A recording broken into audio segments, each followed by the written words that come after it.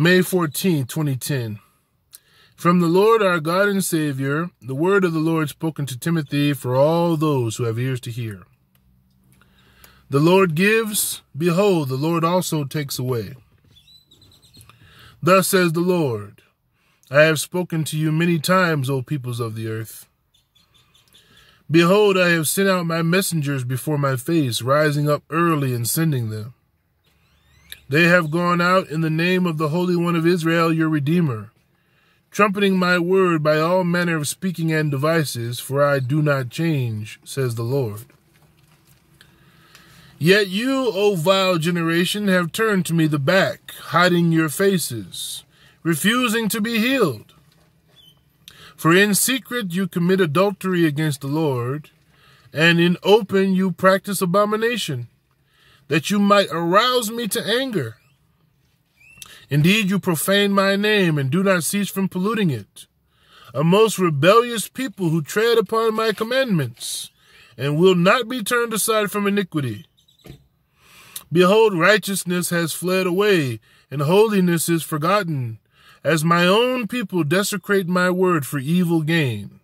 Unruly children who forsake my law in my own name multitudes of ill favored sheep.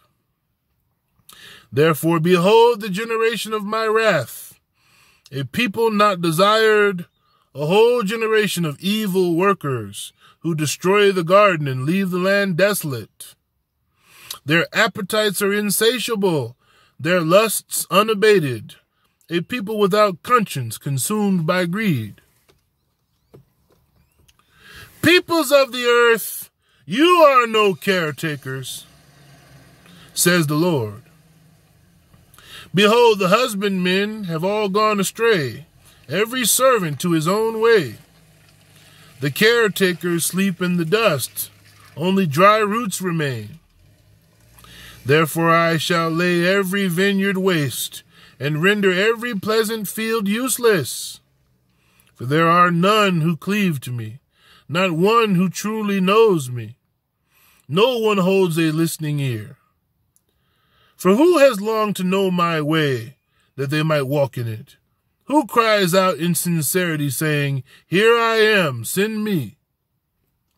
Why do my people rend their clothes, while their hearts remain hard and unyielding, growing cold? My people, rend your hearts and not your garments. Bear yourselves before me and be broken. For I tell you the truth, you are fallen. From a great height you have been cast down, my spirit far removed. And still you stand proud, saying, Are we not wise in our own eyes and highly exalted? Do we not stand firm upon our own false foundations, for the sake of pride and vanity? Are we not a lavishly adorned bride, who wears the poor for ornaments, and the destitute for clothes. Therefore, because you are haughty and your works pretentious, walking always in covetousness as a pair of shoes, I tell you plainly, you are not my bride. For none seek my righteousness as it truly is. None prepare my way before me, says the Lord.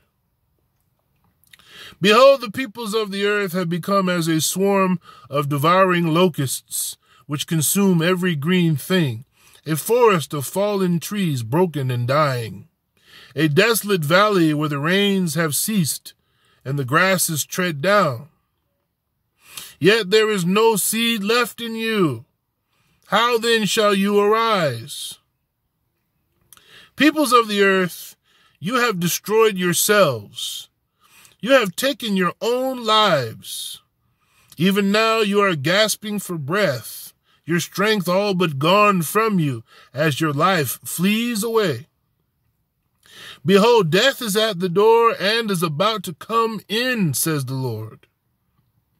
Behold, by the works of your own hands, O foolish generation, are you held captive, prisoners of sin, workers of great iniquity who embrace every perverse way. Behold the final generation, the last of the kingdoms of men, a most arrogant and wicked generation. A people who exalt themselves above their Creator and cast off my gifts, destroying that which I created for them. An abominable people who destroy life while still in the womb. This is my earth of which you have polluted, my precious lambs which you have slaughtered. Therefore, because you have made yourselves enemies of God, and speak as though you were God, thus says the Lord, I am come to cut down the generation of my wrath, to strike the nations in my hot displeasure. Behold, I shall cause nature to rise up and fight against you, and the earth shall become your enemy, from which there shall be no defense nor hiding place. Behold, perplexity and great fear shall overtake you, and you shall be unable to move, astonished at those things coming to pass upon the earth and in the heavens.